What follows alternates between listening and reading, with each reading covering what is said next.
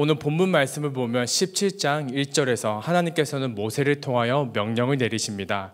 각 지파별로 지팡이를 하나씩 가지고 오되 지휘관의 대표 이름을 세워 적어서 가지고 나오게 하는 것입니다. 특별히 하나님께서는 레위 지파의 지팡이에는 아론의 이름을 새겨서 가지고 나오라고 합니다. 모세는 이 말씀에 순종하여서 그 열두 지팡이를 가지고 하나님이 계신 회막 안에 있는 증거궤 앞에 두고 나오게 됩니다. 그리고 이튿날 다시 그곳을 방문하여서 하나님께서 두고 가라고 하신 지팡이를 회수하게 되는데 한 가지 기적을 목격하게 된 것입니다. 그 여러 지팡이들 중에 특별히 아론의 지팡이, 아론의 이름이 새겨진 지팡이에 um이 돋고 순이 나고 꽃이 피어서 살구 열매가 열린 것을 목격하게 되는 것입니다. 어, 기적이 일어난 것이죠. 우리가 일반적으로 생각해 볼 때 지팡이는 살아있는 나무로 만든 것이 아니라 깡 마른 더 이상 그곳에서 생명이 피어날 수 없는 막대기로 만든 것입니다. 그러하기에 그 막대기에는 더 이상 영양분을 공급해 줄 수 있는 어떠한 것도 없고 그 다음에 생명을 키워낼 수 있는 어떠한 수분조차도 없는 그런 깡맞는 막대기인 것입니다. 그러나 그 막대기 안에서 열매가 맺혔으니 얼마나 놀라운 기적이었을까요? 특별히 그 기적이 특별히 다른 것에 난 것이 아니라 단 한 가지에만 아론의 지팡이에만 그렇게 기적이 일어난 것을 통하여서 하나님께서는 다시 아론의 권위를 이스라엘 온 백성들 가운데 세워주시는 것을 목격할 수 있었습니다. 오늘 이 본문 말씀을 보면서 그러나 한 가지 질문이 들었습니다. 출애굽하는 과정에서 하나님께서는 모세뿐만 아니라 아론에게 특별히 리더십을 구하는 것을 끊임없이 우리는 보아 왔습니다. 그런데 굳이 하나님께서는 이러한 기적을 또 베풀어야 될 이유가 있었을까라는 생각을 해보게 되었습니다. 그러나 오늘 민수기 17장 5절에서 발견할 수 있었습니다. 내가 택한 자의 지팡이에는 싹이 나리니 이것으로 이스라엘 자손이 너희에게 대하여 원망하는 말을 내 앞에서 그치게 하리라. 바로 이것인 겁니다. 아론이 또 모세가 리더십으로 있는 것에 대해서 누군가는 원망을 하였고 불만을 제기했다는 것입니다. 그것은 바로 우리가 민수기 16장에서 살펴보았던 고라의 반역 사건과 긴밀하게 연결되어 있는 것을 알 수 있었습니다. 그러나 하나님께서는 이것을 그냥 넘어가면 되는데 이 부분을 거듭 이야기하시면서 당신의 감정까지 드러내시면서 꼭 짚고 넘어가는 이유가 무엇이었을까요? 말씀을 살펴보니까 거기엔 중요한 문제 또 우리가 깊이 깨달아야 될 중요한 맥이 있다는 것을 깨닫게 되었습니다. 결론부터 먼저 이야기하자면 고라의 질투가 또 우리가 될 수 있겠죠. 사람의 질투가 선을 넘어서 하나님의 목까지 간섭하게 되었기 때문입니다.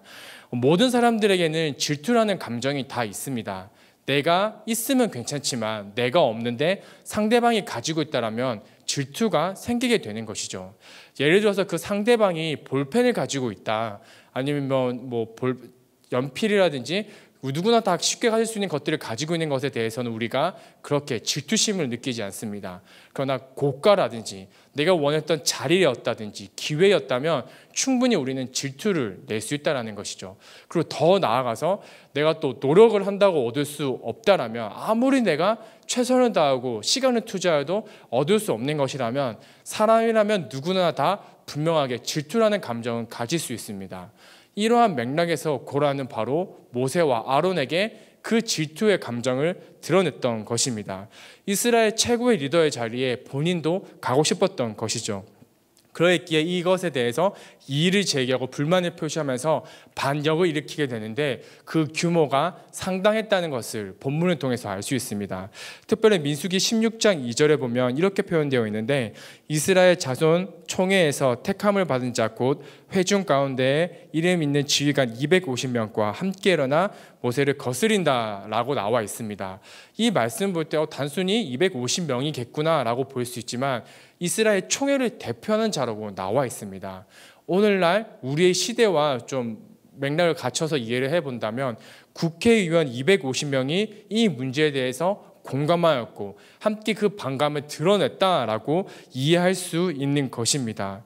그렇다면 이 동의의 골자는 어떤 내용들이었을까요? 단순히 모세의 리더십과 아론의 리더십에 대해서 도전한 것이 아닌 또 하나의 중요한 의미가 있었습니다. 민수기 16장 1절에 있는데 그 1절에 보면 갑자기 족보가 나옵니다. 성경에서 이렇게 갑자기 족보가 나올 때는 다른 의미보다 여러 가지 엮여 있는 관계를 설명할 때 직관적으로 표현하기 위해서 이렇게 족보를 갑작스럽게 등장을 시킵니다. 그 족보는 어떤 족보가 나와 있냐? 바로 레위 지파에 대한 족보가 있습니다. 레위가 있고 그다음에 그의 아들 고앗이 있는데 고앗의 아들 중에는 아므람과 이스힐이라는 사람이 있습니다. 여기서 바로 이스힐이 고앗의 아버지가 되는 것이고 아므라함이 모세와 아론의 아버지인 것입니다. 그러면 이 족보를 펼쳐놓고 보면 고앗과 모세와 아론을 같은 학렬로 우리나라 촌수로 따진다면 사촌지간밖에 되지 않습니다. 고라 입장에서 볼 때 아론과 모세는 하나님께 택함을 받으셨다는 이유 하나만으로 이스라엘의 최고의 리더십 자리에 계속 서게 되는 것이고 자신은 항상 2인 자리에 자리에 서게 되는 것이 못내 불평이 있었던 것입니다. 그리고 16장 1절에 이 바로 고라의 반역에 함께 동참하게 되는 지파가 또 하나가 있는데 그것은 바로 르우벤 지파입니다. 또 르우벤 지파는 어떠한 이야기를 가지고 있냐? 열두 지파 중에 장자 지파임에도 불구하고 리더십을 배출하지 못한 가문이었습니다. 당시 이스라엘 장자 문화를 생각해 볼 때 굉장히 열등감을 가질 수 있는 요소이기도 하고 또 그게 하나님 안에서 동의가 되지 않고 순전한 사람의 욕심이 있다라면 충분히 이의 제기할 수 있는 상황이었습니다. 고라는 바로 이러한 세력들을 모아서 모세와 아론에게 맞서게 되는 것이죠. 그러면서 우리가 한 가지 고라가 잊었던 것을 깨달을 수 있습니다. 고라 같은 경우는 단순히 이스라엘 리더십에 대해서 도전했던 것이 아니라 가로치고 있는 하나님이 세우신 리더십에 대해서 도전했던 것이고 그 도전은 바로 하나님께 대한 도전이었습니다. 그런데 이러한 심리는 끊임없이 사람들에게 표현되고 있습니다. 사실 오늘 본문뿐만 아니라 조금 더 뒤로 가면 사사 시대에도 동일한 사건이 있었습니다. 하나님께서는 당신의 뜻을 이스라엘 백성들에게 전하는 과정에서 사사라는 직분, 그 사명을 감당하는 리더십을 세우십니다. 그러나 많은 이스라엘 장로들이 이것을 보면서 이렇게 불평을 합니다. 주변 이웃 국가들은 왕들을 세우고 왕국, 제국 이렇게 성장해 나갔는데 우리는 왜 여전히 왕이 없으며 사사라는 직분을 통해서 하나님의 말씀을 들어야만 됩니까? 우리도 눈에 보이는 왕을 세워주고 왕국을 만들어 갑시다. 바로 여기에 하나님을 깡그리 무시한 경우인 거죠. 하나님께서 사사를 통해 분명히 말씀하시고 이스라엘을 이끌어 가겠다고 하셨는데 그들은 눈에 보이지 않는 하나님보다 눈에 보이는 것들이 부러웠으며 또 그것을 이뤄내기 위해서 하나님의 마음과 뜻을 무시하게 되는 선을 넘게 되는 실수를 반복하게 되는 것입니다. 오늘 이 본문을 통해서 하나님께서 우리에게 결정적으로 전해주고 싶은 말씀은 바로 선을 넘지 말아야 된다라는 것입니다. 하나님은 하나님의 몫이 있고 우리는 우리의 몫이 있다라는 것입니다. 그러나 때로는 사람들이 교만해져서 내 지식과 경험과 이런 것들이 늘어났다고 해서 때로는 우리가 하나님의 자리를 침범할 때가 있습니다. 만약 우리가 살아가는 과정 가운데 내 삶의 터전 가운데 그러한 실수를 범하고 있다라면 오늘 말씀을 통해 내 마음을 돌아보았으면 좋겠습니다. 더불어 또 우리가 한 가지 얻어가야 될 삶의 지혜도 있습니다. 우리가 살아가는 공동체에는 하나님께서 세워주신 리더가 있습니다. 가정으로 치면 부모가 있을 수 있고요. 직장과 삶의 터전에 상사도 있을 수 있고 내 위에 사람들이 있을 수 있고 또 교회 공동체 내에서는 하나님께서 세우신 여러 리더십들이 있습니다. 그러나 그 사람에 대한 판단과 결정은 우리가 하는 것이 아니라 하나님이 하는 것입니다. 우리가 그들의 팔로우로 있다라고 한다면 우리는 하나님이 세우신 리더십에 대해서 불평 불만을 제기할 것이 아니라 그들을 통해서 역사하신 하나님의 일들을 기대해야 될 것입니다. 그리고 이어서 우리가 한 가지 또 기억해야 될 사실은 우리도 언젠가 그 리더의 자리에 섰을 때 고라와 같은 마음이 들지 않도록 우리가 하나님의 사명을 온전히 잘 감당해야 될 것입니다. 그렇게 해서 하나님이 세우신 사람답게 하나님이 절대 실수하지 않으실 수 있도록 내 삶 가운데 끊임없이 하나님의 말씀을 들으며 순종해 나가야 될 것입니다. 오늘 이 말씀을 통해서 내 삶의 자리를 돌아보고 또 돌아볼 것이 있다라면 점검해야 될 것이 있다라면 확인하고 넘어가는 시간이 되길 주님의 이름으로 축복합니다. 제가 기도하고 오늘 예배를 마치도록 하겠습니다. 하나님 오늘 말씀을 통해서 하나님의 목과 사람의 몫이 있다라는 것을 배웠습니다.